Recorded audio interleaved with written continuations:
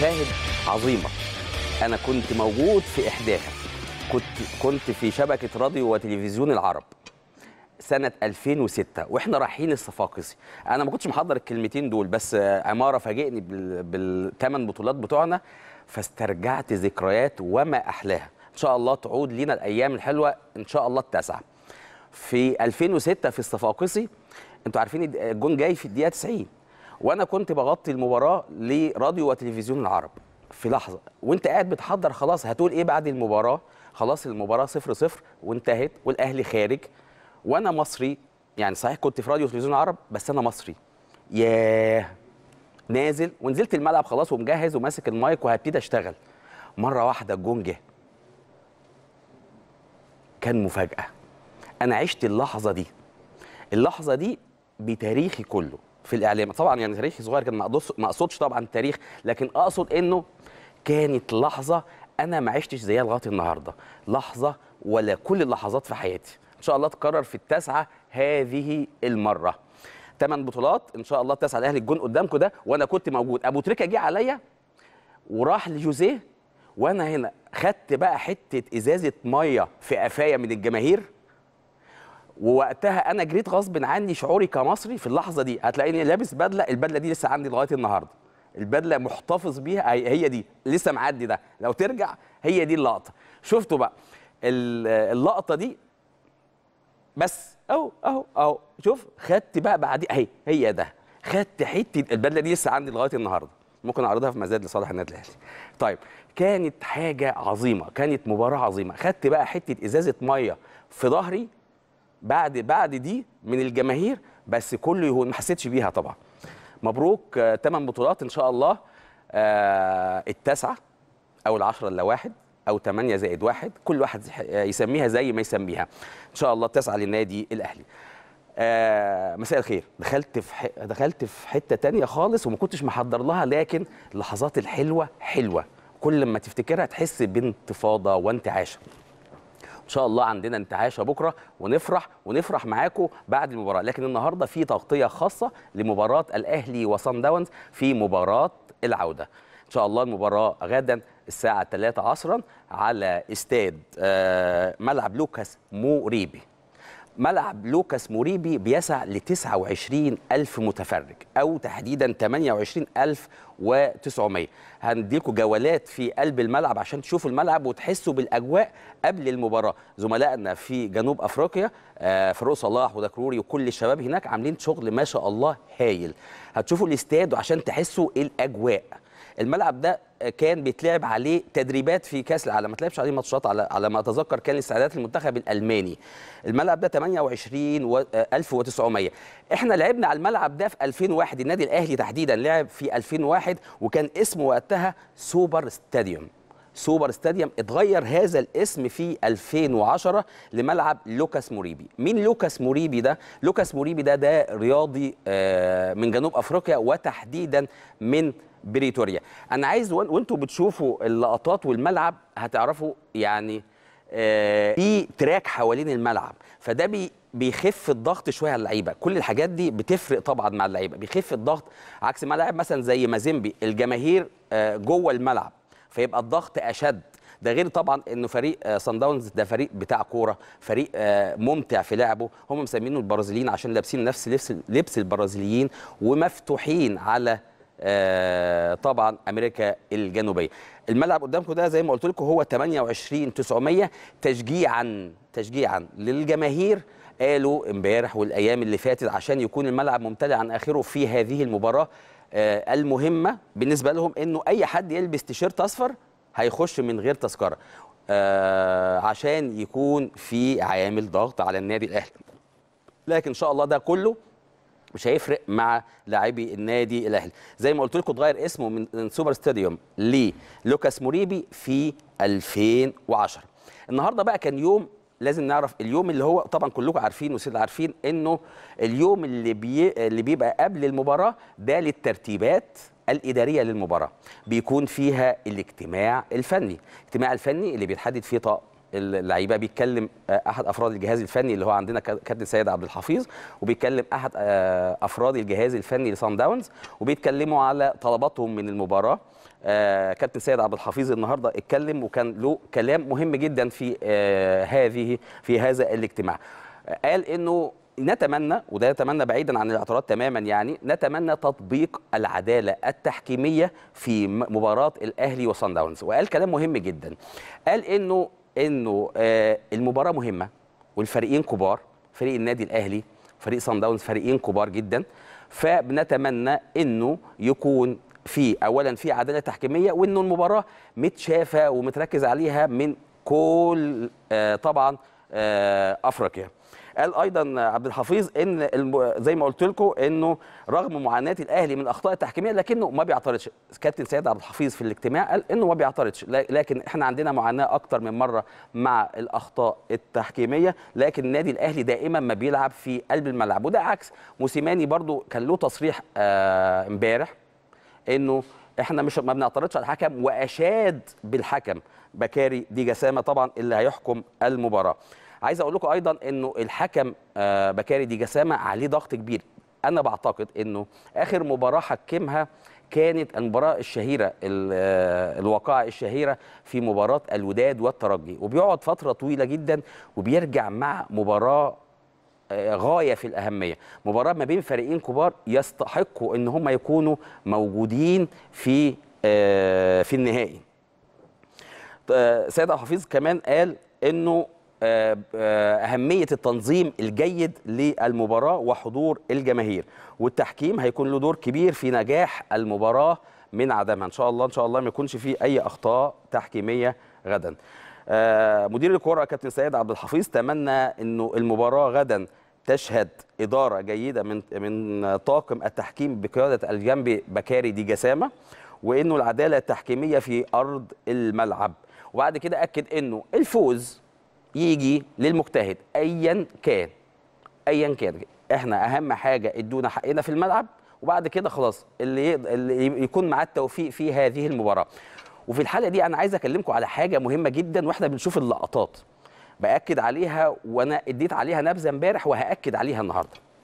النادي الأهلي في إطار استعداداته لهذه المباراة الهامة كان له ثلاث جوانب. ثلاث جوانب. اولا الاستعدادات الإدارية وسافر قبل المباراة بست أيام بالتمام والكمال. سافر يوم الأحد اللي فات عشان يقدر الساعة البيولوجية يظبطها عند اللاعبين والجهاز الفني. لأنه بريتوريا بترتفع عن سطح البحر حوالي 1339 كيلو. آه 1339 متر ارتفاع عن سطح البحر. أي ارتفاع عن سطح البحر ده بتحتاج تظبط معاه الساعة البيولوجية. والساعة البيولوجية زي ما شفنا في اليابان وزي ما شفنا في أثيوبيا في 2007 بعد اللي أنا قلته لكم في, في أول حلقة النادي الأهلي لعب النجم الساحلي في أثيوبيا. برضه واجه هذه الأمور. لكن هو سافر كان يوميها سافر قبلها ب 48 ساعة فكان المباراة ضغط شديد شديد على اللاعبين.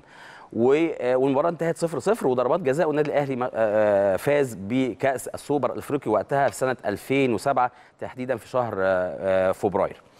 فإنه النادي الأهلي سافر الاستعدادات بقى نرجع للاستعدادات الاستعدادات ثلاث أقسام. القسم الأول الإداري زي ما قلت لكم إنه استعد إنه سافر للمباراة قبلها بست أيام مباشرة. فده الاستعداد الإداري وأداه على أتم وجه. والاستعداد الفني وده له ثلاث أقسام ومهمين جدا. ولا النفسي ومعنوي وتكتيكي. والثلاث حاجات خلال الحلقة هكلمكم عليها. وإحنا بنتكلم مع فاروق هنتكلم على هذا الجانب هنتكلم مع هتشوفوهم من خلال برضو تقاريرنا اللي موجودة مع جماهيرنا. هنتكلم حول هذه المواضيع بشكل مفصل. طيب الجانب الثالث اللي هقول لكم أداء قبل ما نطلع أوريكم المؤتمر الصحفي هو التوفيق. وإحنا بنشجع النادي الأهلي والجماهير كلها بتشجع النادي الأهلي. لازم تعرف إنه لعيبة النادي الأهلي والمدير الفني محتاجين توفيق السنة دي. لو خدوا التوفيق السنة دي وعامل التوفيق السنة دي فريق النادي الأهلي راكب أفريقيا لمدة خمس سنين قدام. ليه؟ لأنه النادي الأهلي جايب لعيبة على مستوى عالي من الكفاءة جدا وسنها صغير. بس كل الحاجات دي محتاجة التوفيق. مهما جبت أعظم لاعبين في العالم ومعهمش التوفيق ولا ولا كأنك عملت أي شيء. لو جبت أعظم مدير فني وما معهوش التوفيق ولا أكنك عملت أي شيء يبقى إحنا محتاجين إيه؟ عامل التوفيق. وإحنا بنشجع نعرف إن السنة دي مرحلة عنق الزجاجة. وهديكم مثال. مصر في 2006 المنتخب المصري في 2006 هو هو المنتخب في 2008 طب هو هو في 2010 في 2006 كنا بنعدي الماتش بماتشه. 2008 رحنا ادينا للكل أربعات وخمسات. ال ال ال يعني الكبار في أفريقيا كلهم خدوا أربعات وخمسات من المنتخب المصري ولعبنا ماتشات قلنا ده البرازيل. في 2010 كذلك. ليه بقى؟ لأنه كابتن حسن شحاتة وقتها خد العامل التوفيق. خد عربون المحبة لدى الجماهير. هو ده اللي بكلمكم عليه إنه فايلر واللاعبين دول محتاجين سن التوفيق. سن التوفيق هتيجي بإيه؟ البطوله الافريقيه البطولة الأفريقية السنة دي. هي عربون المحبة مع الجماهير. هي عامل التوفيق للاعبين كتيرة جدا محتاجين. شخصية البطل مع شخصية النادي الأهلي يتم مزجهم ويبقوا حاجة عظيمة ما شاء الله. آه الفريق كله محتاج هذه البطولة. خدها أنا بقول لكم من دلوقتي لو ربنا اداني واداكم طول العمر إن شاء الله خمس سنين النادي الأهلي بهذا الجهاز الفني وبهؤلاء اللاعبين حاجة في حتة تانية خالص. بهذا اللعب وبهذا ال rotation وبهذا الجانب التكتيكي وب... وبالروعة اللي إحنا شايفينها. بس محتاجين إيه؟ سنة التوفيق. نرجع بقى ليومنا النهارده. زي ما قلت لكم الاجتماع الفني اللي اتكلم فيه سيد عبد الحفيظ واتكلم فيه أحد أفراد الجهاز الفني أو الإداري لفريق سان داونز واللي أكد فيه كابتن سيد عبد الحفيظ إنه إحنا مش محتاجين أي حاجة مش محتاجين أي حق فوق حقنا. إحنا محتاجين حقوقنا بس اللي داخل الملعب ناخدها تأمين التحكيمي وإن شاء رب العالمين ده يحصل في هذه المباراة لأنه زي ما قلت لكم بكاري دي كسامة راجع بعد عودة وبعد شوية سنة قلق في الاتحاد الإفريقي فمحتاج ورايحين خلاص على تصفيات كأس العالم ثم بعدها كأس العالم فالراجل ده بعتقد بعتقد إنه هيكون مركز في المباراة. مش هنقول أي حاجة تانية ولا هنقول شوبة أي حاجة هيكون مركز في هذه المباراة. أيضا النهارده كان في مؤتمر صحفي للمدير الفني اللي زي ما قلت لكم محتاجين إيه؟ راجل كويس جدا. محتاجين منه إيه؟ أو محتاجين له إيه؟ التوفيق. ففايلر النهارده كان عمل مؤتمر صحفي واتكلم على المباراة ورد على أسئلة كتير نشوفها ونرجع نكمل التغطية الخاصه بمباراه الاهلي وصن داونز Okay, ça qui, euh, qui était dans ce- il y a une, une année, hein, ça nous intéresse plus. Ça c'est nouveau jeu aujourd'hui et euh, ou demain. Euh, ça veut dire il faut préparer le prochain jeu et tout ce qui est passé euh, dans le passé, euh, ça nous intéresse pas. Maintenant on a gagné le premier match, hein, c'était seulement un match. Mais il faut bien préparer le match de demain et ça va être assez dur, mais le but est clair. euh, Nous allons essayer de faire tout pour euh, nous qualifier.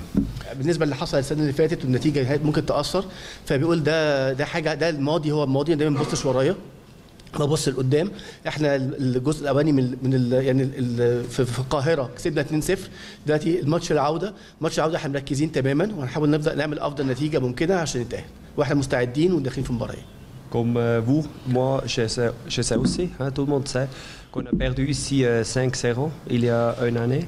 Une année. ça veut dire euh, ça va être euh, très difficile si on a un avantage ou pas, ça je ne sais pas. Euh, et c'est aussi pas décisif que les autres personnes pensent. C'est un match avec deux équipes qui sont tous les deux très forts. Et ce sont des matchs très serrés. C'était aussi un match très serré euh, en Égypte euh, il y a une semaine. Et ça va être la même chose demain. Alors euh, c'est difficile à dire, mais il faut bien préparer le match et après on va voir quel résultat on va réaliser tous les deux équipes. آه، سؤال بيقول آه، موسيماني كان قال إن ال- إن في أفضلية لجنوب أفريقيا عشان السنة اللي فاتت كان في 5-0 و2-0 دي بالنسبة للعودة مش هتبقى صعب تتعوض أنت إيه رأيك يا ترى أنت ك- كمدرب للنادي الأهلي شايف انت برضو عندك أفضلية عليه. فرد قال انت طبعا عارف إن السنة اللي فاتت النتيجة كانت تقيلة كانت 5-0 هنا. فصعب تقول تتكهن بنتيجة ال- ال- المباراة أو مين اللي هيتأهل. إحنا عملنا اللي علينا في الجزء الأولاني وكسبنا 2-0 بس دي مش نتيجة مطمئنة. الماتش هيبقى ماتش قريب جدا. وبالنسبة للفرقتين والنتيجة الأولانية بتاعت ماتش الذهاب دي مش حاسمة. لازم نستحق التأهل هنا في في مباراة العودة في سان داونز. إحنا بنركز في الملعب زي عندك في هناك في كسبت 2-0 دي مش نتيجة يعني انت لازم تبقى تأدي أكتر من كده ولازم تعرف ان الماتش هنا هيبقى صعب جدا فرقه كويسه وفرقه محترمه لازم نحترمها اي ماتش لازم تحترمه لأن تطلع بنتيجه ايجابيه دي حاجة مهمه جدا ليك وللنادي الاهلي ان شاء الله J'aimerais pas vous donner une explication. hein. Vous avez déjà tout dit. hein. Ce sont deux équipes euh, qui sont tous les deux très forts. Euh, c'est 2-0 maintenant le premier match. Euh, C'est clair, c'est dangereux parce que euh, Sundowns, ils ont déjà montré qu'ils sont capables de marquer plusieurs buts, euh, de, gagner des matchs à la maison. Surtout aussi euh, dans la campagne Champions League, ils n'ont ont pas encore euh, perdu un match. Euh, oui, euh, on ne peut pas donner des explications. Il faut être prêt, il faut, il faut faire un très bon match. Et après les 90 minutes, on va voir le résultat. Et après, euh, tout le monde sait qu'est-ce qui se passe.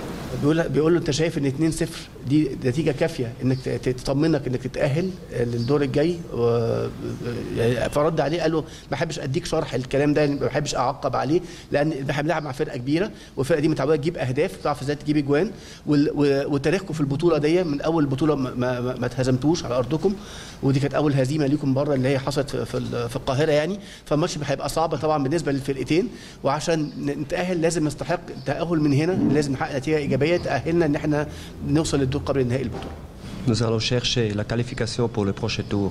C'est tout qu'on va chercher maintenant. Et votre évaluation, comment vous voyez le niveau technique de cette compétition Est-ce que plus forte que les précédentes ou bien avec les. les- Alors d'abord, c'est la réponse hein, qu'on va, qu'on va chercher hein, maintenant la qualification et pas, pas quelque chose d'autre.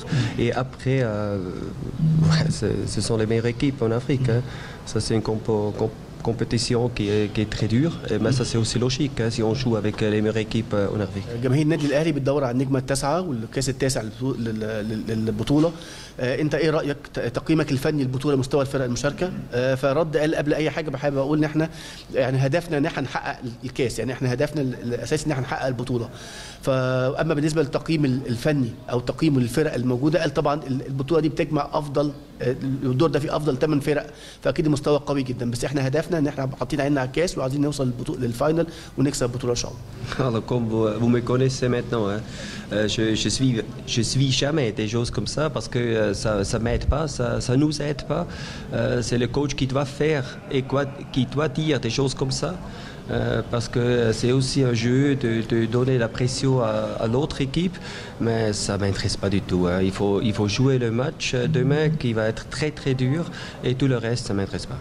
آه، السؤال كان آه، أول حاجة إحنا بنحييك إنك آه، قادر يعني ده أول حاجة أنت أنت راجل موضوعي في لعبك وبتلعب بأي لعيبة عندك بت- بتقدر تفرض سيطرتك وبتقدر تلعب نفس التخطيط أو نفس ال- ال- التكتيك النظام الخططي للعب سواء بأي لعيبة موجودة في الملعب بتنفذ فكرك.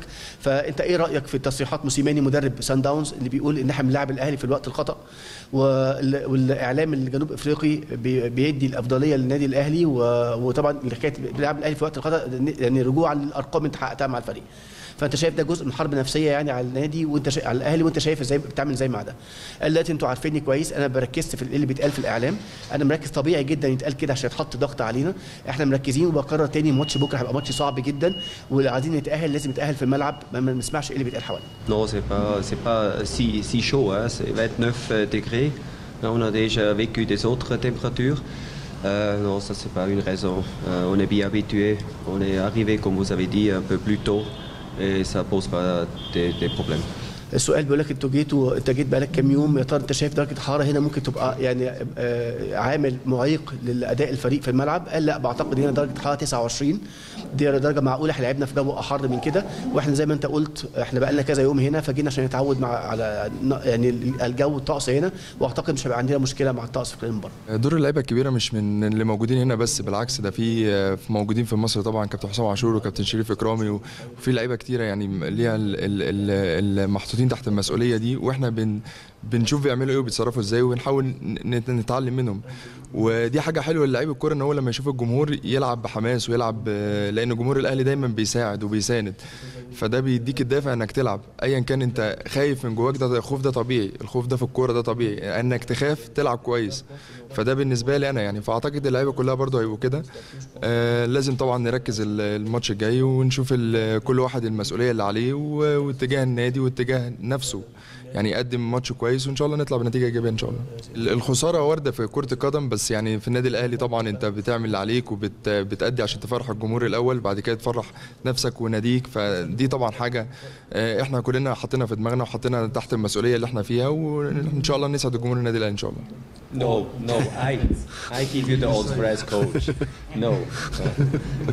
Fair play and respect, uh, it's very important in football and life generally. Uh, no, that's not a plan and uh, we don't do that. بيقول له بيقول له فرق جمال جنوب شمال افريقيا معروف You السؤال السؤال دول شمال أفريقيا متعودة تضيع وقت وتستهلك وقت وت... وت... عشان تطلع بالنتيجة اللي هي عايزاها طيب أنتم محضرين ده جزء من خطة الماتش فرد عليه coach فايلر قال له لا طبعا أرفض ده تماما والسؤال ده ما ينفعش يتسأل للعيب من عندنا آه، إحنا بنلعب ب fair play بنلعب ب- بروح رياضية وبنحترم اللعب وما بنعملش ده خالص ده مش جزء من من سياستنا في المباراه Okay, thank you very much. That's the end of our Thank you. coach. So good luck. Good luck.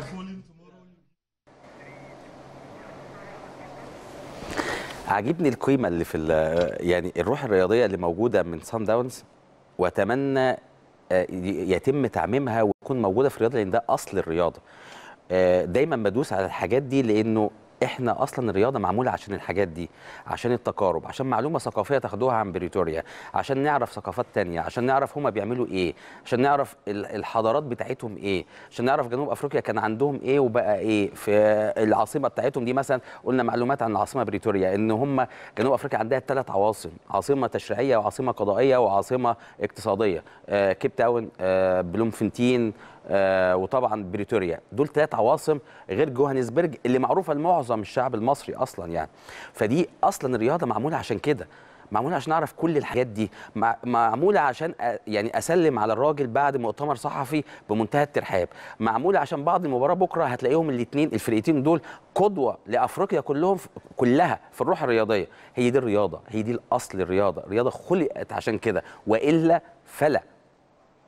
واضحة. ملهاش تاني وإلا فلا. ننهي الرياضة لو هي هتسبب التعصب والأزمات ويبقى في احتقان ويبقى في في نزاع داخلي وفي حاجات كتيرة جدا. فالرياضة خلقت عشان هذا اللي أنتم شايفينه ده واللي أنتم هتشوفوه بكرة. ومقدما يعني بقول لكم إن هو ده اللي هيحصل في الاستاد لأنه البيئة متوفرة عند النادي الأهلي ومتوفرة عند سان داونز هو ده الرياضة يعني. نرجع بقى لفايلر وتصريحاته في المباراة وتصريحات رامي ربيعة. رامي ربيعة أنا هتوقف عند كلمة واحدة بس. الخوف اللي جواه. هو قال الخوف أنا ببقى خايف جوايا عشان عندي حرص زيادة على الفوز. حرص زيادة على الفوز. تاني وأهم حاجة إن السؤال أنتوا ما جالكوش بس هو السؤال كان ليه؟ إنه هو النادي الأهلي لازم بيفوز في كل المباريات. النادي الأهلي ما بيخسرش. هو رد ربيعه وقال إنه النادي الأهلي لأ ممكن يخسر. بس في قاعدة لازم تفهموها. النادي الأهلي صح. النادي الأهلي لازم يفوز دايما. طب لو خسر بيتعلم عشان يفوز. هو ده الفرق. هو ده يعني إيه ما. يعني إيه ما بيخسرش؟ يعني في حالة الهزيمة بيتعلم من خسارته منه بقى يشوف أخطائه. ولسه قريبة حاجات كتيرة جدا بيشوف إيه الأخطاء بتاعته هو عشان تاني مباراة يكسب. هو ده اللي بيحصل. هو ده اللي بيخلي المنافسين حتى ممكن ينسحب.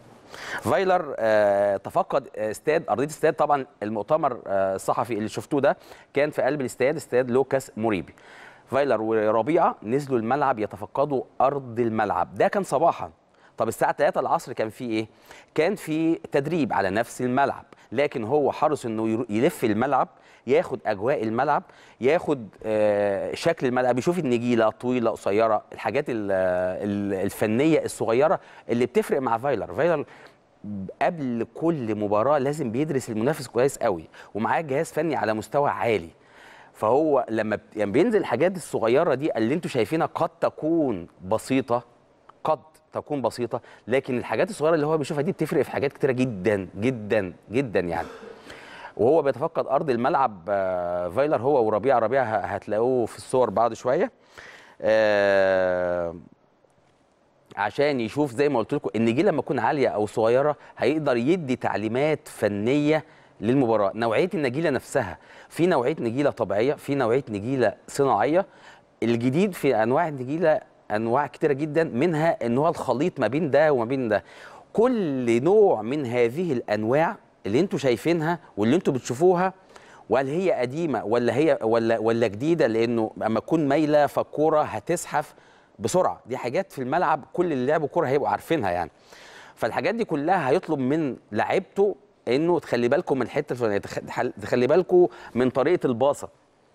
كل الحاجات الصغيرة دي بتفرق لما يكون مدرب شاطر زي ده ينزل بنفسه يلف حوالين الملعب.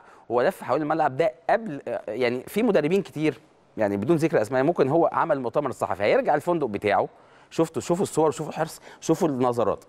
هيرجع الفندق بتاعه وما هو راجع الساعة 3 العصر يعني. أو هو وربيع أهو زي ما قلت لكم المترجم راجع الساعة 3 العصر عنده تمرين على الملعب المباراة الساعة 3 العصر. إيه اللي فيها؟ ما أنا هكون الساعة 3 العصر وهشوف وهعمل. لكن الراجل حريص على شغله من بدري. كان موجود في قلب الملعب المباراة وعشان كده آه نزل تفقد أرضية الملعب. طيب عندنا بقى زي ما قلت لكم إحنا مجهزين لكم في هذه التغطية الخاصة حاجات كتيرة جدا بره وجوه. عندنا تغطية خاصة صحيح من جنوب أفريقيا وفي شغل عالي جدا جدا لكن برضو عندنا شغل عالي جوه هنا. عاملين لكم آه استعدادات عندنا ثلاث تقارير مصورين في الشارع هناخدهم على مدار التغطية. أول تقرير هنتكلم كلمنا مع الجمهور سلا حامد زميلتنا سألت الجمهور آه عن استعداداتهم للمباراة. تعالوا نشوفوا قال إيه ونرجع تاني. أجيال بتسلم بعض تاريخ مكتوب. والكل في واحد. ونتيجة دن النادي الأهلي المصري. رقم واحد. العالم شاهد على أمجاده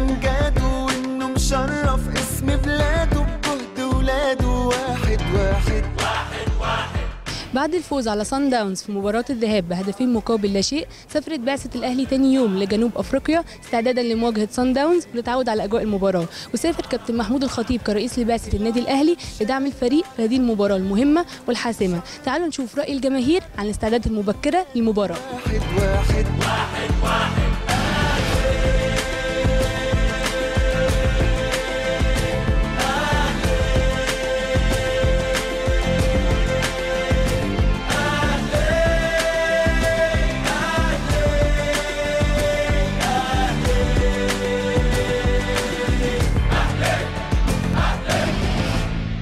كابتن مصطفى عسل آه، بطل العالم في السكواش ولاعب سكواش بالنادي الأهلي. قول لنا رأيك عن الاستعدادات المبكرة لماتش سان داونز وسفر كابتن محمود الخطيب كرئيس لبعثة النادي الأهلي.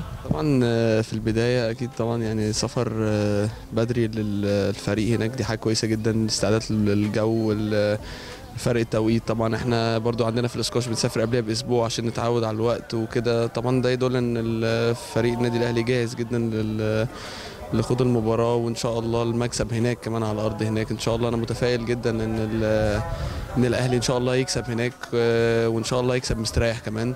إن آه، دي روح الفريق النادي الأهلي. وإن برضو كابتن محمود الخطيب إن هو يكون معاهم هناك ده دعم كبير جدا آه، منه. ودي تدي حافز للعيبة كمان إن هم يكون عندهم إصرار إن هم يكسبوا كمان بفرق هناك. فإن شاء الله يعني إحنا متفائلين كلنا معاهم إحنا الإسكواش كله إن شاء الله هنتفرج على الماتش عليه مع بعض هناك. فبتمنى لهم التوفيق إن شاء الله. أنا شايف إن الاستعدادات دي اللي هم عملوها سافروا قبل الماتش بأسبوع كده كانت حاجة كويسة جدا للفرقة. وبعد كده طبعا سفر كابتن محمود الخطيب معاهم بيديهم حافز كبير جدا يعني ان هم يقدموا هناك بعد اللي حصل السنة اللي فاتت. فإن شاء الله السنة دي يبقى أحسن طبعا حاجة كويسة إن هو يبقى موجود في البعثة. دي بتدي حافز للعيبة وبتبقى حاجة كويسة بالنسبة للعيبة إن الكابتن محمود الخطيب طبعا يبقى موجود مع البعثة. وإن شاء الله الأهلي إن شاء الله يقدر يصعد من جنوب أفريقيا إن شاء الله. وإن شاء الله يعمل نتيجة إيجابية حتى لو تعادل صفر صفر إن شاء الله يقدر يتأهل إن شاء الله من جنوب أفريقيا إن شاء الله. طبعا هو شيء جميل جدا إن إحنا نسافر بدري عشان نتغلب على المشكلة اللي قابلتنا في الماتش اللي فات في نفس الملعب في نفس مع نفس الفريق. وجود طبعا الكابتن محمود الخطيب ده شيء كويس هيحفز اللعيبة. وإحنا بنشكر الخطيب على اللي بيعمله. يعني أنا بشكره من كل قلبي على اللي هو بيعمله مع الفريق ومع النادي. وده شيء كويس جدا. أجيال بتسلم بعض تاريخ مكتوب. والكل في واحد. ونتيجة دن النادي الأهلي المصري. رقم واحد. العالم شاهد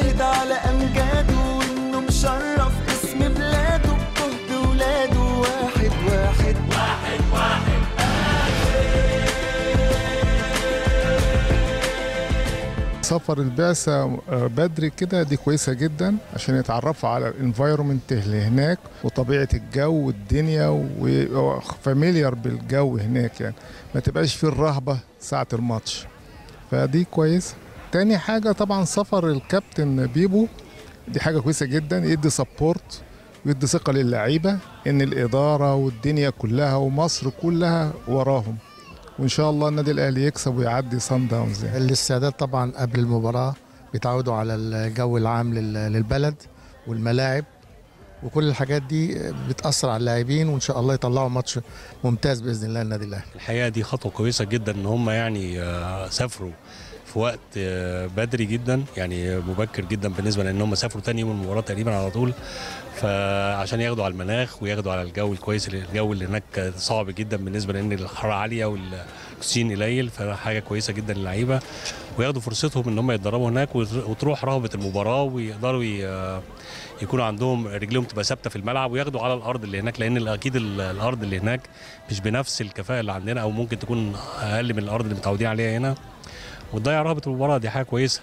وخاصة كمان أهم حاجة في الموضوع إن الكابتن خطيب معاهم فدي حاجة كويسة جدا. طبعا بتدي حافز جامد جدا للعيبة إن اللعيب بيشتغل أو بي- بيلعب بكل طاقته وبكل آه، إمكانياته. وإحنا نتمنى إن اللعيبة تشيل من دماغها رهبه المباراة خالص وحكاية الطار والكلام ده كله ويلعبوا لعبهم ويلعبوا كورتهم اللي هم بيحبوها واللي إحنا بنحبها واللي إحنا بنشجعها. ونتمنى إن هم يأدوا أداء يرفع رأس مصر كلها.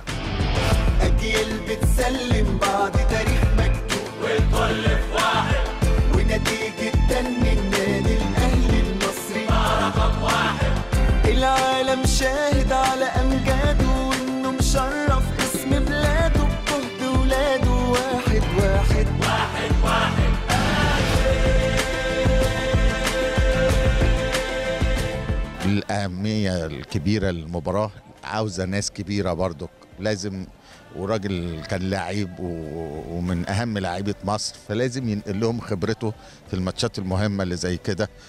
هو شخصيا ما ينفعش أي حد تاني واخد بالك؟ عشان اللعيبة تاخد ثقة في نفسها وت... يعني إيه إن شاء الله ربنا يكرمها.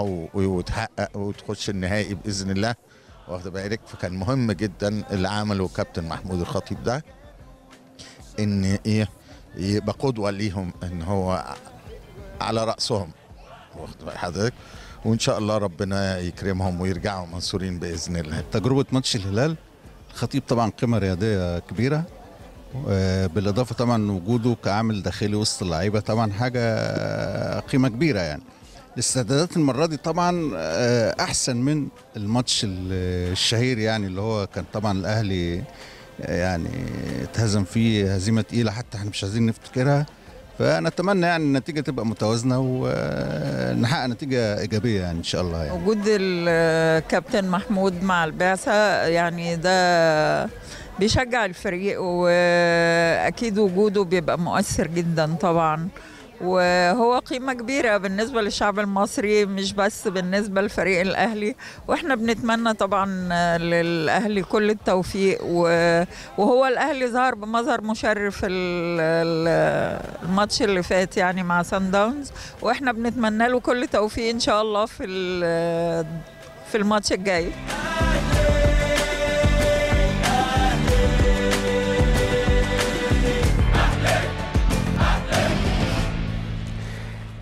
تاني. يعني وعمارة بي- بيذيع البطولات الجميلة دي آه، كان في لقطة آه، كنت عايشها ومن ذكرياتي يعني. وأنا كنت في دو... في آه، هي دي اللقطة. أنا كنت هناك دي في أثيوبيا 2007 كأس السوبر الأفريقي. كان بمناسبة مرور 50 عام على إنشاء الاتحاد الإفريقي. في 2007 بعد ما خدنا على طول آه، طبعا الصفاقسي المباراة العظيمة. كانت يوم 11 11 2006 جينا بعدها بشهرين لعبنا كاس سوبر وخدناه 0 0 وبالمناسبة يعني أثيوبيا مرتفع عن سطح البحر آه 300 متر. أنا طلعت على الهوا هم كام سلمة ونزلت الملعب. كنت بنهج عشان تعرفوا حجم المعاناة. على ما وقفت على الهوا قلت معلومة غلط إنه قلت 3000 كيلو. كان حاجة مضحكة جدا. كان موجود زمايلي الأستاذ علي داوود يعني ربنا يديله الصحة يعني 3000 كيلو. ليه؟ هنسافر فوق.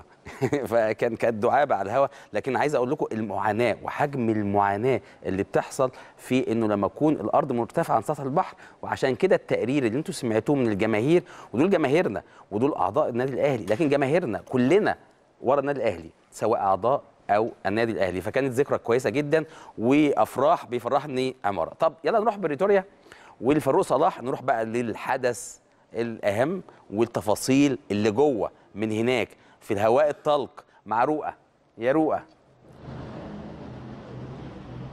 إيه المنظر الحلو ده؟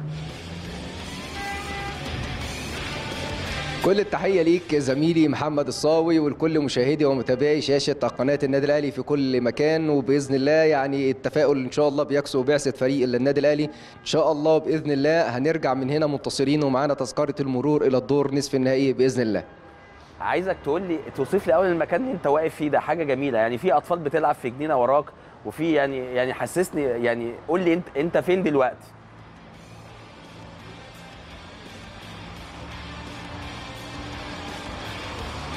معذرة محمد بس أنا مش سامعك طيب. بوضوح. أنت موجود دلوقتي في الشارع. هل أنت في الفندق وفاتح على جنينة ورا الفندق ولا يعني عايشني في المكان اللي أنت واقف فيه بالظبط؟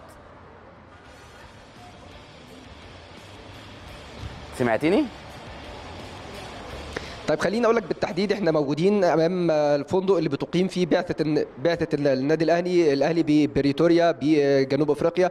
وبالتحديد إحنا أمام متحف القصر الرئاسي وده أحد المعالم السياحية هنا ببريتوريا. وبريتوريا أحد المدن الهامة واللي هي العاصمة الدبلوماسية لجنوب أفريقيا. زي ما اتكلمنا هي بتحتوي على يعني الكثير من المناطق السياحية يعني أهمها بروكلين وسانسايد. سانسايد اللي بتقع فيها مقر السفارة المصرية وأيضا حديقة الحيوان الحيوانات الوطنية بجنوب إفريقيا. مكان أكثر من رائع زي ما اتكلمنا زميلي محمد مرارا وتكرارا على هذا الأمر وانتقاء واختيار فريق النادي الأهلي ومسؤولي النادي الأهلي لهذا الفندق لإقامة بعثة النادي النادي الأهلي. زي ما قلت لك إحنا يعني أمام الفندق هذا هو المتحف لمتحف القصر الرئاسي ببريتوريا. جنوب أفريقيا بتحتوي على تسع تسع مدن أهمها جوهانسبرج وكيب تاون وبريتوريا. يعتبر أكثر المدن اللي فيها تواجد للمصريين جوهانسبرج وبريتوريا وكيب تاون خلينا أطمنك إن توافد يعني جماهير النادي الأهلي من كل مكان ومن الجالية المصرية والعربية من كل مكان لمؤازرة ومساندة النادي الأهلي. الجميع بيتجمع النهارده في بريتوريا من أجل يعني الذهاب خلف النادي الأهلي غدا إلى استاد لوكاس موريبي لمساندة ومؤازرة النادي الأهلي. لو هنتكلم زميلي محمد عن تفاصيل اليوم هنقول تفاصيل كتير. خلينا نبدأها مع صباحا والمؤتمر الصحفي لمستر ريني فايلر المدير الفني للنادي الأهلي. اللي قال الكثير من الأمور في المؤتمر الصحفي وتحدث عن أهمية اللقاء وإنه دايما ما بيحبش ينظر للماضي. يعني مباراة الذهاب بالنسبة له خلاص هي أصبحت مباراة في الذكريات حقق فيها الفوز والانتصار بهدفين ولكن هو بيركز على المستقبل وبيبص على اللقاء القادم أمام فريق سان داونز في معقل فريق سان داونز ببريتوريا باستاد لوكاس موريبي. قال اللقاء الماضي ده كان خلاص لقاء في الذكريات. حققنا من خلاله هدفين أعتقد هيدونا أفضلية في اللقاء العودة. لكن إحنا تركيزنا إن شاء الله إن إحنا نفوز في لقاء العودة. أيضا ونقرر نفس الفوز. سئل مستر ريني فايلر أيضا عن يعني تقييمه لبطولة دوري أبطال إفريقيا هذا هذا العام وشايف المستويات وشايف يعني طموحه. قال أنا قدري إن أنا يعني قدرنا إن إحنا وضوعنا في فريق دائما وابدا يعشق البطولات وجماهير لا تشبع من البطولات. ده قدرنا إن إحنا بنتولى مسؤولية هذا الفريق وهذه الجماهير التي لم ولن تشبع من البطولات وقدرنا إن إحنا دائما إن إحنا نحقق البطولات لفريق النادي الأهلي. أعتقد البطولة بطولة قوية جدا لكن أنا طموحي ليس مباراة فقط أنا طموحي البطولة اللي هو أعتقد نفس الطموح اللي مرتبط ما بين كل فرد بينتمي إلى النادي الأهلي. تحدث أيضا عن اللقاء وعن إن ممكن تكون الأوراق مكشوفة ما بينه وما بين بيتسو موسيماني الأوراق أو الأهلي كتاب مفتوح وصن داونز كتاب مفتوح للأهلي. مستر ريني فايلر قال أنا يعني ما يهمنيش مين اللي مين اللي يلعب أنا اللي يهمني أنا هلعب إزاي. ودي من النقاط اللي كان مستر ريني فايلر حريص جدا إن هو يعني يبرزها للإعلام. قال أنا يعني أنا بالنسبة لي أي 11 لاعب هيكونوا موجودين في الملعب هم اللي هيقدروا ينفذوا ال- الفكر بتاعي ويقدروا ينفذوا طريقة اللعب اللي إحنا بنلعبها إزاي. أيضا كان هناك حديث لرامي ربيعة وتحدث رامي ربيعة عن أهمية اللقاء ودوره كواحد من اللعيبة الكبار في النادي الأهلي وقال إنه دايما الأحاديث ليست مقتصرة على المجموعة الموجودة هنا في بريتوريا سواء وليد سليمان أحمد فتحي محمد الشناوي أو رامي ربيعة ومجموعه اللاعبين ولكن الحديث بيمتد أيضا والدعم بيجي لنا من اللعيبة الموجودة في القاهرة سواء حسام عاشور وشريف إكرامي. واعتقد ده شيء مش جديد على النادي الأهلي زميلي محمد ده اللي إحنا متعودين عليه من كل أفراد ولاعيبة النادي الأهلي على مدار تاريخ النادي الأهلي. عايز أطمنك أيضا يعني على الحالة الفنية يعني عقب الانتهاء المؤتمر الصحفي والتحدث إلى هذه الأمور يعني أيضا من الأمور برضو اللي سئل عليها مستر ريني فايلر عن الأحاديث. مستر بيتسو موسيماني وإنه دايما بيتكلم بيقول إن إحنا بنلاعب النادي الأهلي في الوقت الغلط وإنه دايما بيشيد بالنادي الأهلي وأرقامه مع آه، ريني فايلر وأيضا حديث وسائل الإعلام في بريتوريا عن قوة النادي الأهلي واحترامهم للنادي الأهلي وإن النادي الأهلي جاء إلى بريتوريا من أجل الصعود والتأهل. فمستر ريني فايلر قال أنا دايما يعني ما بحبش ألتفت كتير للإعلام لأن أنا بعتبر ده نوع من أنواع الحرب النفسية أو الضغوط النفسية لكن إحنا بنركز في طريقنا وبنكمل مشوارنا. عق- عقب انتهاء المؤتمر الصحفي كان الاجتماع الفني الخاص باللقاء بحضور الكابتن سيد عبد الحفيظ والكابتن سمير عادل والكابتن ماهر عبد العزيز والدكتور عمرو عمرو محب مترجم النادي الأهلي اللي كان موجود أيضا في الاجتماع الفني وتم تحديد الاتفاق على النادي الأهلي. هيرتدي الزي الرسمي والزي الكامل للنادي الأهلي والقميص الأحمر للنادي الأهلي بينما سان داونز هيرتدي أيضا الزي الرسمي والرداء الأصفر لفريق سان داونز. وتم الترتيب على كافة الأمور.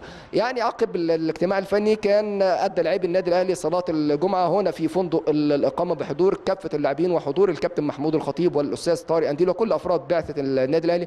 والجميع تمنى وتعاهد إن شاء الله على ضرورة إحراز الفوز والعودة إلى القاهرة. آه، حاملين تذكرة الصعود إلى الدور نصف النهائي. كان آه، مران الأهلي ال- الأول على الاستاد آه، لوكاس موريبي. اللقاء الأول يعني المران الأول والأخير في تمام الساعة الثالثة عصرا على استاد لوكاس موريبي. استاد لوكاس موريبي. آه، تم مران قوي بدأ في تمام الساعة الثالثة عصرا. بدأوا مستر توماس بجزء بدني مع اللاعبين. ثم بدأ مستر ريني, ريني فايلر. طبعا بعد ما تفقد آه، أرضية الملعب والجهاز الفني تفقد أرضية الملعب بالكامل. مستر ميكيل يانكون اختص حراس المرمى محمد الشناوي وعلي لطفي ومصطفى شوبير بتمرين أكثر من رائع. أيضا كل اللاعبين ومستر ريني فايلر بدأ ان يعني المران قوي جدا للاعبي النادي الأهلي. اختتم مستر ريني فايلر مران النادي الأهلي بالتدريب على ركلات ال- ال- الجزاء. يعني كل اللاعبين النهارده آه، اتمرنوا على ركلات ال- الجزاء. ويعني نقدر نقول كان في تألق وإجادة من الشناوي وعلي لطفي وكان أيضا في تألق من باجي ومروان محسن وأليو ديانج ووليد سليمان وقفشه وجيرالدو وكافة لاعبي النادي الأهلي ومحمد هاني واحمد أحمد فتحي وأيمن أشرف وياسر إبراهيم وعلي معلول وكل اللاعبين ورامي ربيعة. الجميع تألقوا في ركلات ركلات الجزاء. ودي كان من الأمور اللي كان مستر ريني فايلر حريص حريص عليها. لكن إحنا إن شاء الله نتمنى إن المباراة ما توصلش لركلات الجزاء والنادي الأهلي يوا- يواصل طريقه إلى مباراة النصف النهائي ومن ثم المباراة النهائية. خليني برضه أقول لك زميلي محمد عن حديث وسائل الإعلام هنا في بريتوريا عن اللقاء وصدى اللقاء يعني خرجت النهارده بعض الصحف في بريتوريا وسائل الإعلام تت- تتحدث عن ضرورة إسقاط النادي الأهلي وضرورة الفوز على النادي الأهلي. يعني الثلاثه آه، صحف الشهيرة سواء ذا ستار أو بريتوريا دي أو بريتوريا أو بزنس دي وبريتوريا نيوز تحدثوا عن اللقاء ويعني بعض العناوين. هل بيتسو هل بيتسو موس- موسيماني يحسن التدبير أم هيبحث عن البدائل؟ يعني ده كان أحد المانشيتات اللي خرجت بيها صحيفة بريتوريا نيوز لما قالت هل بيتسو موسيماني يحسن التدبير أم يبحث عن ال- البدائل في ظل النادي الأهلي له الأفضلية له الأسبقية بالفوز بهدفين في استاد القاهرة؟ وقالوا إن النادي الأهلي لما يعني من النقاط اللي عملها النادي الأهلي إن هو جاء إلى بريتوريا وجنوب أفريقيا بالتحديد آه، بريتوريا مبكرا من أجل التأقلم مع ال- الأوضاع. وقالوا إن الهدفين اللي أحرزهم النادي الأهلي في مباراه الذهاب هيصدروا عامل ضغط كبير جدا على فريق آه، سان داونز أيضا من الأمور ال- المهمة إن ال- إن اليوم تم تجديد تعاقد كابتن فريق سان داونز كيكانا. اللاعب اللي تم تمديد عقده وصاحب ال 34 عام تم تمديد عقده لمدة أربع سنوات وكان نوع من أنواع يعني رفع الروح المعنوية لكابتن الفريق إنه يقدر يتكلم على اللقاء ويبعث في اللاعبين روح التفاؤل ويكون قوة دفع لفريق سان داونز. لكن يا زميلي محمد خليني أقول لك إن الأمور بالنسبة لفريق النادي الأهلي الأمور مطمئنة تماما تماما. النهارده كان يعني من النقاط المهمة جدا برضو من خلالك ومن خلال قناة النادي الأهلي عايزين نبرزها كان حضور السفير العراقي ببريتوريا إلى مقر إقامة بعثة النادي الأهلي بصحبة المعالي السفير شريف عيسى سفير جمهورية مصر العربية لما علم بوجود بعثة النادي الأهلي ووجود الكابتن محمود الخطيب. أصر على إن هو يتوجه إلى بعثة النادي الأهلي إن هو يصافح اللاعبين ويصافح الكابتن محمود الخطيب وجلس مع الكابتن محمود الخطيب.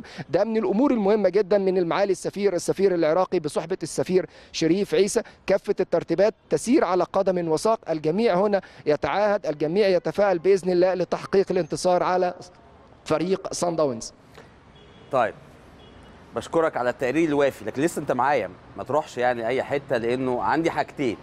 اولا الجماهير. لا أنا أنا أنا أنا معاك أنا معاك في, في هذه الأثناء زميلي محمد هينضم لنا أحد أفراد الجالية المصرية والعربية الموجود هنا في بريتوريا وفي مقر فريق إقامة النادي الأهلي لمساندة ومؤازرة النادي الأهلي. في البداية برحب بحضرتك على شاشة قناة النادي الأهلي. عايز أتعرف بحضرتك وأعرف حضرتك جاي منين من جنوب أفريقيا بالتحديد. أنا اسمي أحمد رفعت أحمد الأقرع جاي من مدينة ايست لندن ايستن كيب 1200 كيلو جاي نشجع النادي الأهلي بكل قوة. ونتمنى من الله سبحانه وتعالى بالتوفيق بعد ما كسبنا ماتش في القاهرة. ندعو من الله سبحانه وتعالى نكسب ماتش غدا. ونقول يا رب يسر الحال يا رب. عايز أسأل حضرتك يعني بقالك كام سنة هنا في بريتوريا في جنوب أفريقيا؟ أنا بقالي 15 سنة في جنوب أفريقيا. يعني شايف في حرص من حضرتك النهارده على اصطحاب أسرة حضرتك للحضور ومساندة ومؤازرة النادي الأهلي في هذا اللقاء؟ والله طبعا يعني في ناس بتيجي وفي ناس تعرف طبعا جنوب أفريقيا والوضع بتاعها. بس معظم الناس يعني مبسوطة والناس كلها كويسين كل الناس بتيجي يعني. وبندعو من الله سبحانه وتعالى الفوز بكرة إن شاء الله. ولان فريق صن داون مش سهل وبيلعب على أرضه حلو قوي. بس إحنا إن شاء الله بعد الهدفين اللي حصلوا في في القاهرة كابتن علي معلول وعندنا ناس جامدة وأحمد فتحي وصالح جمعة ورمضان صبحي. لعيبة جامدين بسم الله ما شاء الله يعني طيب فاروق وأنت مع وأنت مع ضيفك زميلي محمد الصاوي حابب يوجه لحضرتك سؤال معاك يا محمد اتفضل. في جنوب أفريقيا. شايف النادي الأهلي إزاي؟ عايز أشوف عيون النادي الأهلي في مصري موجود في جنوب أفريقيا لمدة 15 سنة.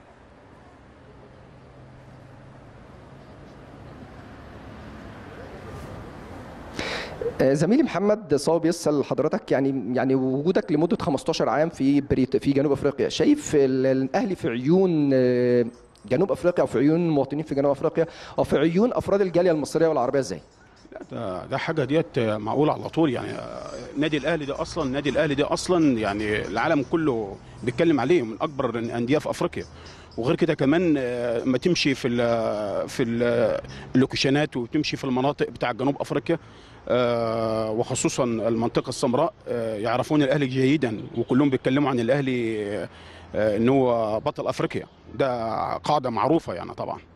في بداية كلام حضرتك قلت لي جاي من مسافة 1200 كيلو. أعتقد النادي الأهلي يستحق مننا طبعا. الأهلي يستحق طبعا إن نسافر له 2000 كيلو مش 1200 كيلو. و... و... وخاصة النادي الأهلي ده فريق عظيم يعني وبنحبه طول عمرنا يعني وبنديه كل العائلة يعني ما عدا واحد بس. عم محمد يعني هو. إحنا كلنا متفائلين. انت متفائل؟ طبعا إن شاء الله خير وربنا ييسر الحال يا رب وبالتوفيق. بكرة إن شاء الله وإن شاء الله هنفوز إن شاء الله. بس بندعو برضك إن كل الجماهير الموجودة في بناشد كل الناس الموجودة المصريين في جنوب أفريقيا.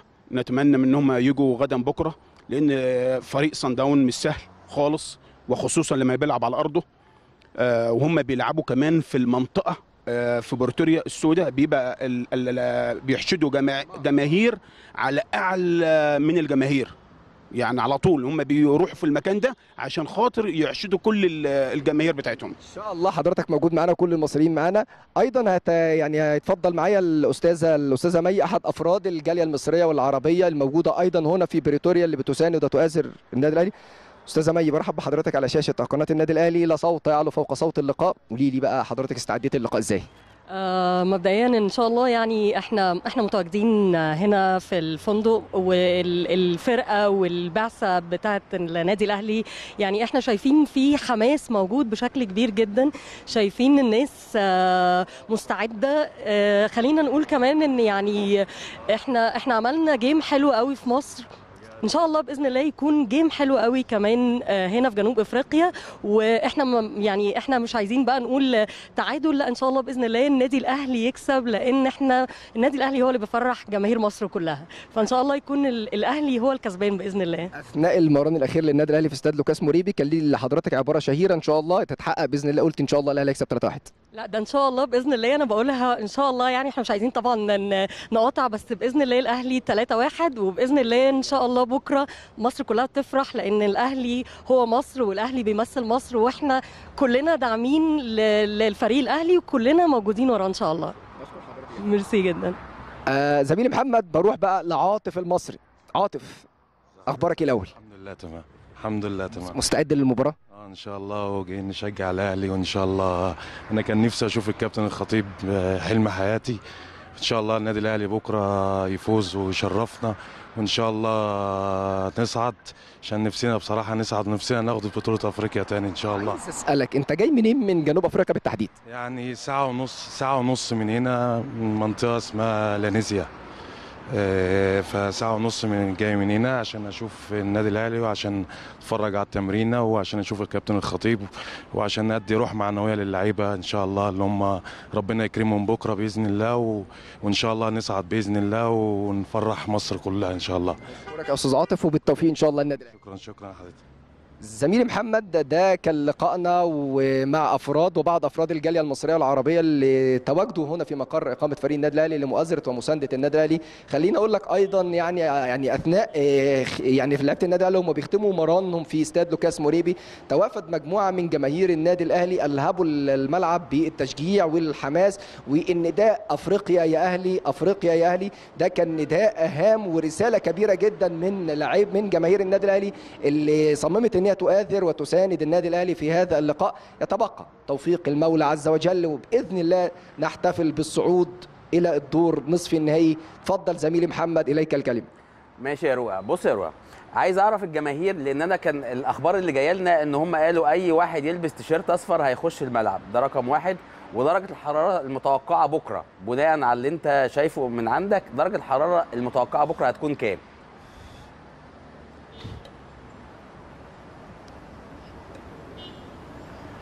خليني أقول لك درجة الحرارة المتوقعة غدا بمشيئة الله هتكون 26 درجة مئوية. بالنسبة للجماهير يعني هو كان آه كان ال- الأمر الأول إن اللي بيرتدي قميص أصفر أو قميص سان داونز بيحصل على سعر التذكرة ب 20 راند وهو يعني نصف ثمن الت- التذكرة. ولكن من الغد هيتم فتح الأبواب مجانا. أعتقد نسبة كبيرة جدا من الجماهير أقبلت على شراء التذاكر. أعتقد ال- السعة الرسمية ل 25 ألف متفرج هيملأوا جنبات استاد لوكاس موريبي وأيضا وجود أفراد الجالية المصرية والعربية. يعني غدا هيتم فتح الأبواب مجانا لجماهير سان داونز من أجل حشد الجماهير وده الاتجاه اللي وسائل الاعلام يعني مستمر عليه إن هي تحشد الجماهير. آه، الجميع بعملية حشد الجماهير ومساندة ومؤازرة جماهير سان داونز للفريق. شايفين ان إن ده الطريق والسبيل لمواجهة فريق بقوة وقيمة النادي الأهلي. أشكرك جدا يا رؤى. إلى الآن آه، يعني أنا ملتزم هطلع فاصل وهنشوف هنرجع لك لو في جديد ولا لأ. آه، زي ما سمعتوا لازم أقف بس دي يعني آه، همسات عند هؤلاء الجماهير الجماهير العظيمة. 1200 كيلو. عارف أنت متوقع إن أنت تمشي 1200 كيلو أو تركب طبعا تطير. أكيد طيارة طبعا. 1200 كيلو ممكن يكون بالعربية. 1200 كيلو حاجة عظيمة عشان تروح تشجع فريقك اللي أنت بتحبه. واحد تاني ساعة ونص. جماهير عظيمة الجماهير اللي راحت الهبت وشجعت ال- النادي الأهلي وطلبت اللاعبين دي عايز أقول لكم هيكون ليها تأثير كبير جدا جدا جدا جدا في هذه المباراة التي ستقام غدا. لكن البطولة اللي أنتم شفتوها ده الأهلي وسان داونز 2001 خالد بيبو كان نجم لقاء العودة. ونجم لقاء الذهاب هو اللي موجود هناك آه، مدير كورة هو الكابتن سيد عبد الحفيظ. كانت مباراة جميلة جدا وزي ما أنتم شايفين سان داونز محتفظ بالطابع بتاعه. لعب كورة آه، آه، لبس منتخب البرازيل اللي هو هيلبسه بكرة والنادي الأهلي طبعا هيلبس لبسه العادي طبعا زي ما قال لكم فاروق صلاح. فاروق صلاح وهو بيتكلم لولا إن الوقت أزف كان آخر حاجة كنت هسمعكم منه حاجة جميلة قوي هو فاروق صلاح ده معلقنا هنا في القناه في القناة يعني ودايما صوته جميل وفي التعليق ما شاء الله وله مستقبل واعد. على يمينه كان في مباراة أنا كنت متابعها زي ما متابع فاروق بالظبط. مباراة بين الولاد في الشارع حاجة جميلة جدا. بس غالبا كنتش قادر أحدد إنها رجبي ولا كرة قدم. ليه بقى؟ لأنه بريتوريا اللعبة الشعبية الأولى فيها هي الرجبي مش كرة القدم. تاني حاجة هي كرة القدم. وبريتوريا فيها فريقين كبار. إحنا لعبناهم آه سان داونز وسوبر سبورت. وتحديدا ده مباراة الديربي في بريتوريا. وهي دي المباراة اللي أصيب فيها آه لاعب الجناح الأيمن ماسيو اللاعب الخطير جدا اللي ربنا يشفيه ويقومه بالسلامة إن شاء الله اللي حصل فيها كسر في آه عظمة الساق. ربنا يشفيه ويقومه بالسلامة لأن هي دي الرياضة دائما ما بنتمنى السلامة حتى لمنافسينا زي ما قلت لكم إن إحنا عندنا بره وجوه. نرجع تاني لجوه ونشوف الجماهير. جماهير النادي الأهلي قالت إيه عن آه رسالتها للجهاز الفني واللاعبين. قالت إيه وتتمنى تقول إيه لو هي قربت. قد يشوفوهم. هم شايفيننا دلوقتي على فكرة. شايفيننا لأنه زملائنا هناك البعثه الاعلاميه بعتوا لي رسائل يعني حاجات وبيمدوني أول بأول فهم شايفيننا وهم هناك. فالرسالة طبعا دي هتوصل للاعبين. تعالوا نشوف الجمهور عايز يوصل رسالة إيه ونرجع تاني.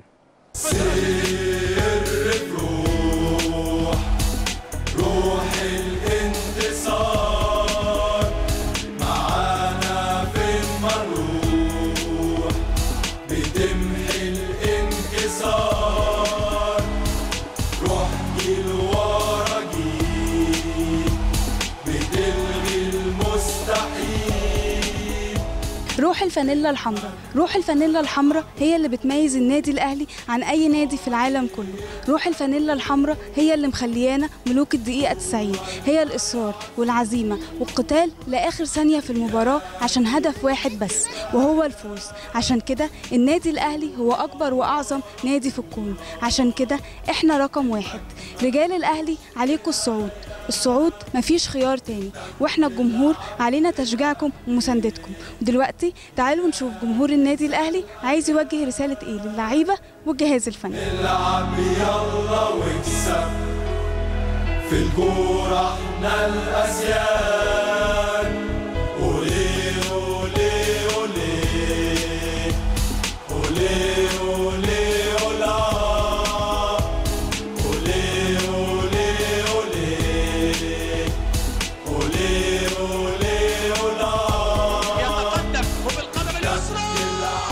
توجه رسالة للاعبين والجهاز الفني؟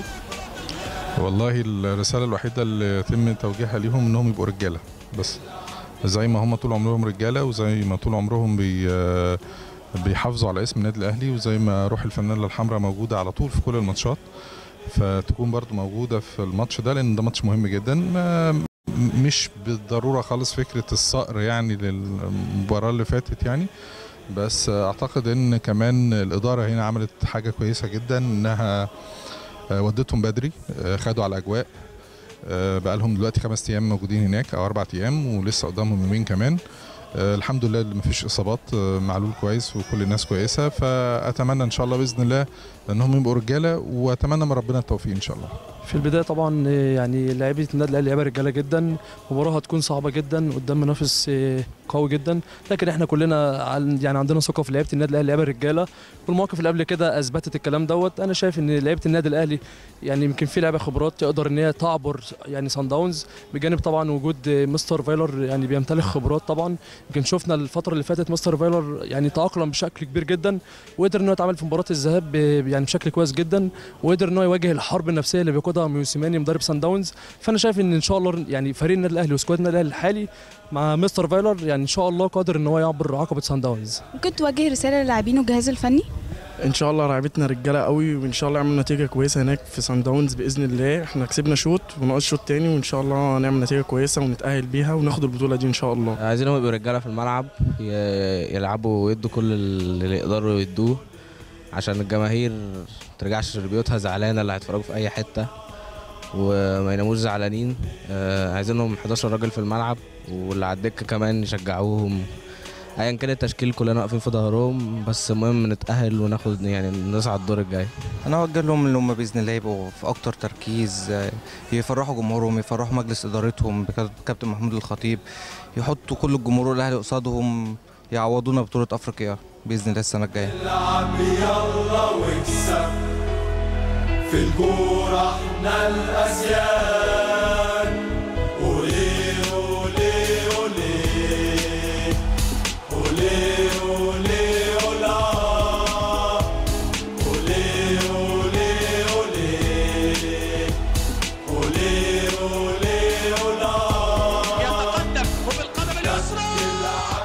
اوجه رسالة بإن هم يبقوا اتكلنا عليهم.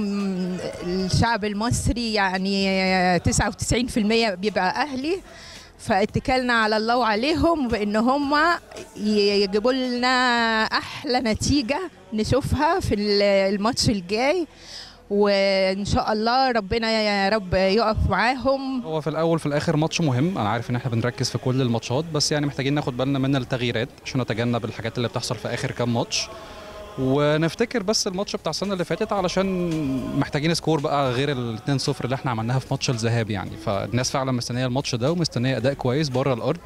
علشان نعوض اللي حصل قبل كده. هي مش تحسب طبعا كده بس في الآخر ويعني في الأول وفي الآخر كل اهلاوي بيفكر بال- بالمبدأ ده إنه إحنا خسرنا هناك بنتيجة كبيرة فلازم نعوض ده هناك برضو في المرة اللي جاية. أنا بس نفسي يكسبوا لأن اللي هم الجمهور لما بيبقى في قاعد بيتفرج عليهم أو قاعد في الاستاد بيبقوا يعني عايزين اللعيبة تاكل النجيلة عشان عايزينهم يكسبوا كده فلما بي بيخسروا آه، الناس بتتضايق جدا. يعني أنا بتضايق جدا لدرجة ممكن أتعب أو كده. حلمك ملهوش نهاية. انت بتلعب للأهلي إياك تنسى الأمجاد تحبي تقول إيه للعيبة والجهاز الفني قبل ماتش سان داونز شدوا حيلكم إحنا معاكم خليكم رجالة. الأهلي بيكسب طول عمره بره أرضه. ما تلعبوش على تعادل ولا فرق جون ولا الكلام ده. إحنا املنا كبير في الاهلي وإن شاء الله بإذن الله يكون عند حسن ظن- ظننا إن شاء الله. البطولة كلها في الماتش اللي جاي بإذن الله يعني آه، عشان كمان نعوض الماتش اللي فات.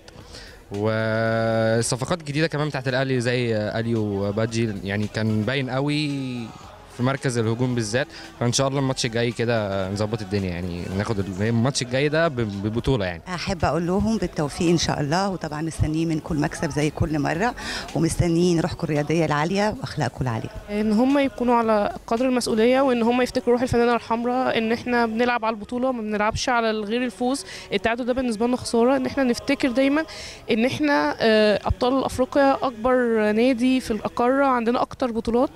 آه، إن إحنا لازم نك- نوصل إن إحنا إحنا خلاص إحنا في ال final مش ال semi final. دي محطة وإن إحنا نركز في الماتش ده.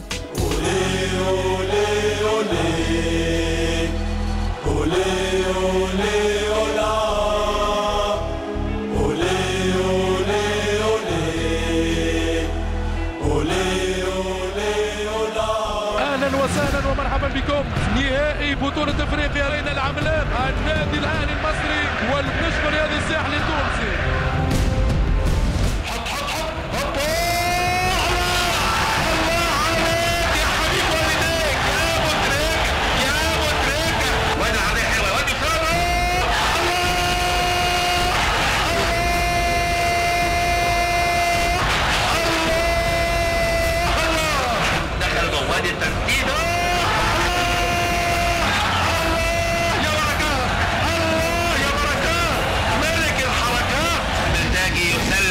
خشبة كأس إفريقيا. مبروك مبروك مبروك. لقاء تحكيم الأرقام القياسية. أحد البطولات الهامة جدا في تاريخ النادي الأهلي 2005 مع الساحر البرتغالي مانويل جوزيه. طيب نروح بقى الماتش بكرة.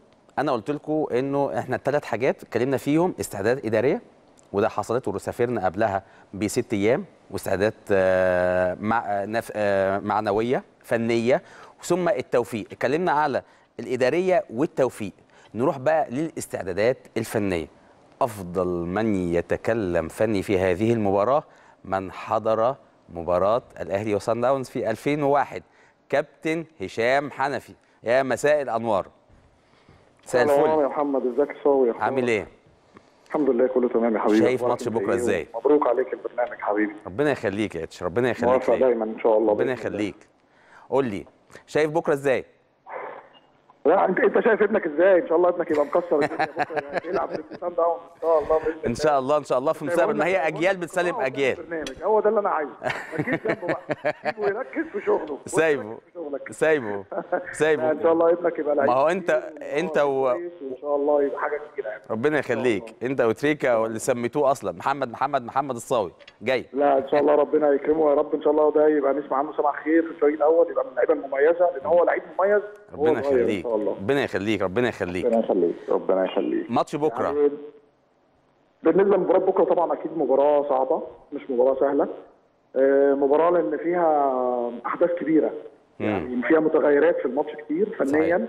آه، فنيا فرقة مميزة جدا سان داونز أنا لعبت يمكن في الأجواء دي قبل كده في صحيح. 2001 مع مستر مانويل جوزيه الساحر طبعا. صحيح. ويمكن الظروف متشابهة. ورحنا قبليها برضو بأسبوع عشان التكيف وعشان التأقلم على الجو وال والحرارة وال atmosphere كله بتاع المباراة. إحنا رحنا قبليها برضو بأسبوع. ودي حاجة كويسة جدا تحسب لكابتن محمود الخطيب رئيس مجلس الإدارة وهو المفوض من قبل مجلس الإدارة عشان هو المسؤول عن الكورة إن ياخدوا قرار إن يسافروا تاني يوم على طول. دي حاجة تتحسب ليهم طبعا. وأنا بقول لك الظروف كلها لأن كل حاجات بتساعد اللعيبة على المسؤولية. صحيح. يعني لما يكون كمان رئيس النادي والكابتن محمود الخطيب بصفته وشخصه يبقى متواجد كواحد من أمهر اللعيبة اللي جت في مصر وأسطورة الكورة صحيح أنا شايف إن ده بيدي دفعة معنوية كبيرة وثقة كبيرة مم. ما يحسهاش إلا لعيب الكورة طبعا. يعني أنا وأنا هناك لما يبقى معايا كابتن محمود الخطيب واقف في الملعب آه، متواجد جنبي وهو رئيس النادي وهو أسطورة. الكورة لا بتحملني مسؤولية كبيرة جدا في الملعب مم. بتحملني حاجات كتير جدا جدا فدي آه، أنا أعتقد إن اللعيبة ما شاء الله خبرات. يعني مروا بحاجات كتيرة جدا جدا قبل كده في مواقف كبيرة مواقف صعبة لأن النادي الأهلي دايما يصوت بيلعب على على بطولة. صحيح. يعني يعني فأنت مش أنت مش في موقف غريب. مم. يعني انت يعني يعني أنت مش مثلا يعني مع احترامي مع احترامي. للفرق الثانية كلها بس أنت النهارده المصري يعني عنده مباراة صعبة جدا مع بركان مم. مغلوب هنا اثنين صحيح. ويعني المباراة 2 2 مم. فصعب عليه. الأهلي لو هنا مغلوب بيعرف يعوض بره. صحيح.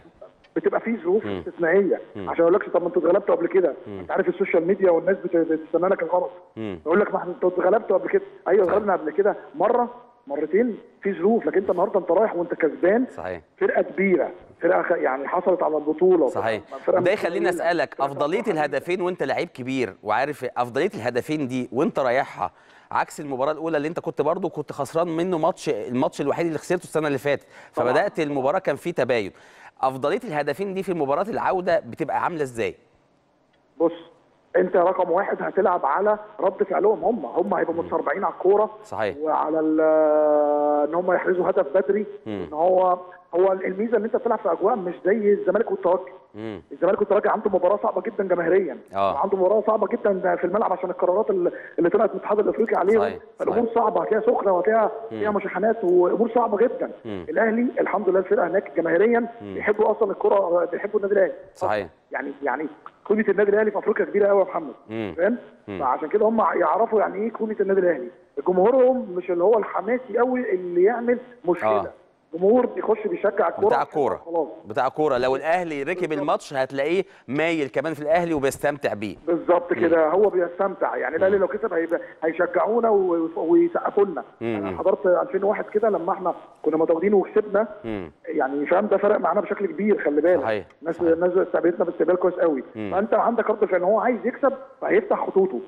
فأنت هتقدر تستغل اللي هو كان بيلعب عليه هنا في استاد القاهرة. إن هو يموت الجيم يلعب يعني يطلع يتسند على اللعيبة من واحد للتاني لغاية لما يوصل على كرة مرتدة. يوصل بيها. لكن صحيح. هو كان عايز يطلع بأقل الخسائر اللي هو 1 0 بالكثير 0 0 2 0 دي كانت على الأكثر. أنت كان ممكن تكسب ثلاثة على. فكرة جالك فرص كان ممكن صحيح. تكسبها. صحيح. فهي دي اللي لكن 2 0 أكيد أحسن من من 1 0 أو 2 1 من 2 1 صحيح. يعني كل الحاجات دي أنت. بتديك ثقة كبيرة جدا جدا يا محمد يعني. طيب. مين من اللعيبة بكرة هيبقى هو يعني أنا عارف كل اللعيبة ما شاء الله ما شاء الله وهو فايلر عامل مع اللعيبة شغل عالي جدا جدا جدا وأنا سمعتك أكتر من مرة بتشيد بهؤلاء. لكن مين اللاعب بكرة اللي هيكون يعني فرس الرهان؟ شناوي.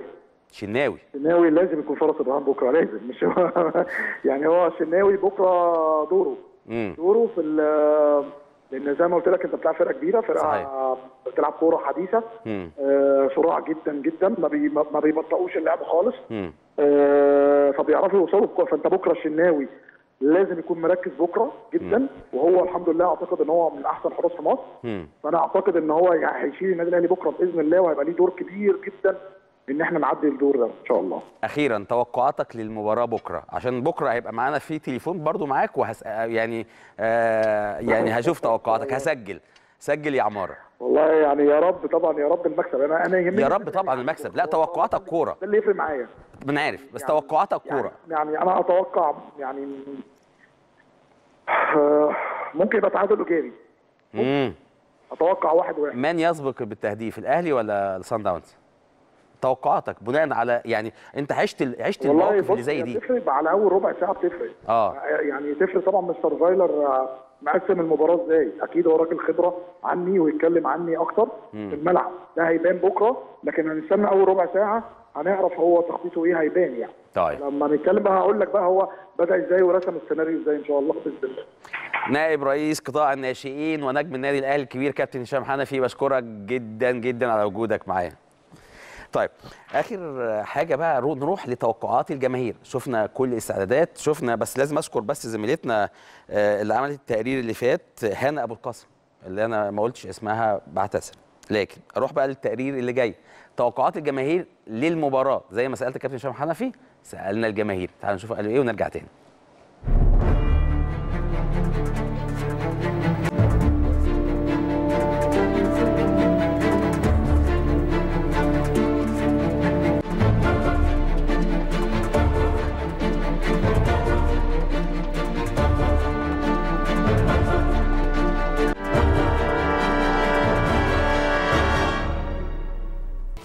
ملوك أفريقيا مش مجرد كلمة لا ده حقيقة وواقع إن النادي الأهلي هو سيد أفريقيا ب 19 بطولة قارية.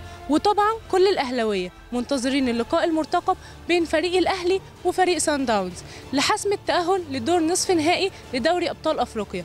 بطولة غايبة عن النادي الأهلي وحشة جماهيره بقالها سبع سنين. معاكم للحصول على النجمة التاسعة. وهنستعرض آراء الجماهير حول توقعاتهم لمباراة العودة بين فريق الأهلي وفريق سان داونز وكمان نحب نفكركم بأن ماتش الذهاب اللي أقيم في استاد القاهرة يوم السبت الماضي انتهى بفوز الأهلي بهدفين نظيفين.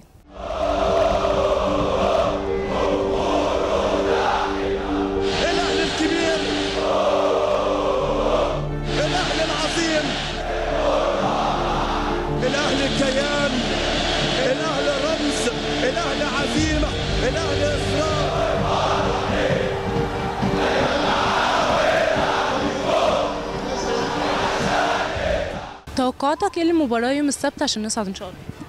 بإذن الله الأهلي عمل ماتش حلو أول الماتش اللي فات وتوقعاتي إن الماتش دوت هيبقى 3-0 بإذن الله على الأقل وبإذن الله هنصعد للنهائي. إن شاء الله الأهلي هيفوز وإن شاء الله الأهلي هيصعد والسنة دي تكون البطولة من نصيب النادي الأهلي إن شاء الله.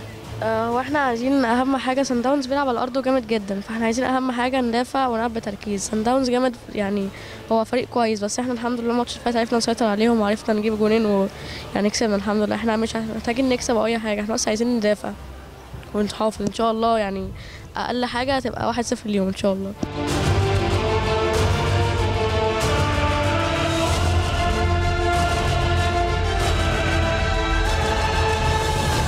توقعاتك لمباراة الأهلي وسان داونز اللي جاية إن شاء الله؟ أنا شايف إن شاء الله إن الأهلي هيكسب. آه توقعات ممتازة النادي الأهلي ممكن يكسب فرق كويس. حتى برضه سان داونز فريق سهل إن إحنا ممكن نغلبه. وإن شاء الله المرة الجاية إن شاء الله الماتش الجاي ده نعمل نحقق فيه مركز كويس ونكسب فرق كويس إن شاء الله. إن شاء الله الأهلي هيغلب. بس ال- الخوف بقى من الحكم الحقيقة. عمل مشاكل قبل كده مع الأهلي.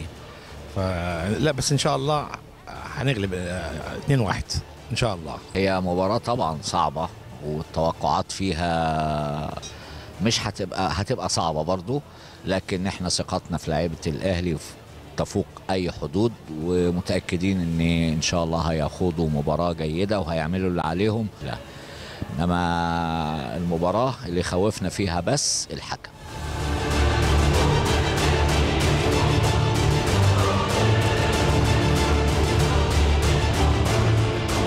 والله إحنا بنتوقع إن شاء الله نكسب اتنين تلاتة أو على أقل تقدير يعني اتنين واحد. إحنا كسبنا هنا اتنين صفر. ففرصتنا هناك مع الاستعداد الكويس اللي هم آه، عملوه راحوا بدري ومفيش إصابات والأمور مه- مهيئة إن إحنا نكسب. أعتقد 2 0 كويس. والله أنا متوقعة يا إما تعادل يا إما الأهلي يكسب واحد. يعني إن شاء الله يكسب واحد صفر أو يتعادل. يعني يا رب يا رب يا رب كده نبقى واحد صفر للأهلي. يعني ده توقعاتي وأمنياتي لأن هو ما فيش حد بيتوقع ما فيش حد بيعرف الغيب بس يعني ممكن أمنياتي إنها تبقى واحد صفر لل... والنهارده كده كان في سن التفاؤل إنه علي معلول ربنا كرمه وقالوا في تصريحات إن هو هينزل الماتش فربنا كريم إن شاء الله. إن شاء الله نصعد و2-0 للأهلي. إن شاء الله يكسب زي المره اللي فاتت إن شاء الله الأهلي يكسب يا رب. ان شاء الله الم- الماتش يكسب وكل الناس يفر- يفرحوا رب الاهلي يكسب رب الاهلي يكسب اللي 2-0 واللي يجيب الاجوان كهربا وعلي معلول حارب على البطولة بروح الأبطال. العب برجولة موت على الكورة أفريقيا للكبار وانت الأسطورة حارب